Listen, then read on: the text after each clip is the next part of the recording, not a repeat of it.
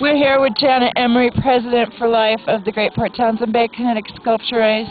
How's it going, Janet? It's going really well. We've had a few obstacles, like the water this morning, but you know what? We're bigger than that, and we're going to have a fabulous race, and we're going to keep going even if the sun comes out today. You know, it's really uh, a great scene down here at Fort Worden. We have the sand and the water. It's safe, it's protected, and it's still plenty of room for kinetics to, to do their thing. You happy about the turnout today? I think it's absolutely fabulous to see that our town comes out and supports us. Excellent. Thank you so much for all you do. And off we go.